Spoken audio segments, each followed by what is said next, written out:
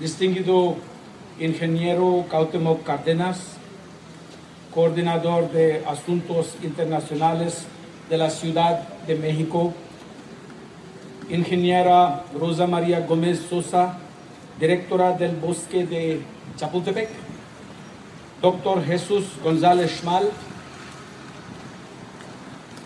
señoritas Sonia Giotto y Patricia Méndez de Ora World Mandala, estimados academicios, profesores y amigos.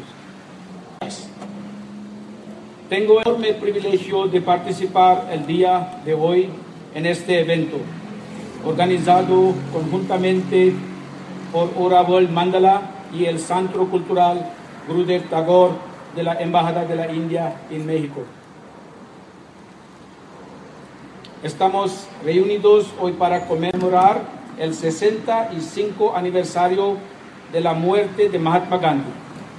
En la India se observa como el Día de los Mártires para rendir homenaje al Mahatma y todas aquellas personas que sacrificaron sus vidas por la independencia de la nación. Poco después de mi llegada a México en el año pasado, asistí a un evento similar que tuvo lugar el 2 de octubre en este mismo sitio, con motivo del aniversario del nacimiento del Mahatma Gandhi, el cual ha sido declarado por las Naciones Unidas como el Día Internacional de la Paz y la No Violencia.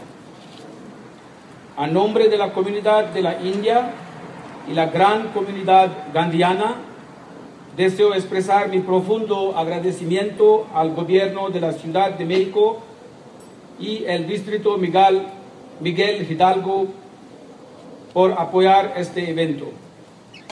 Agradecemos profundamente los esfuerzos realizados por el gobierno del Distrito Federal para mantener el monumento de Mahatma Gandhi como un símbolo de paz y no violencia. Estamos orgullosos de que Mahatma Gandhi naciera en la India.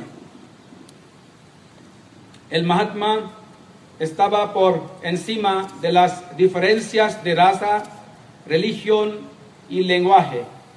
Dedicó su vida a la lucha contra la injusticia y la desigualdad.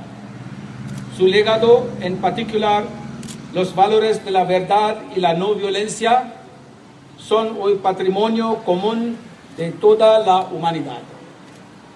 Antes de terminar, quiero agradecer sinceramente a la señora Sonia Diotto, fundadora y presidenta de Oravel Mandala, por su compromiso de promover los principios de paz y no violencia de Mahatma Gandhi en México, especialmente entre los jóvenes.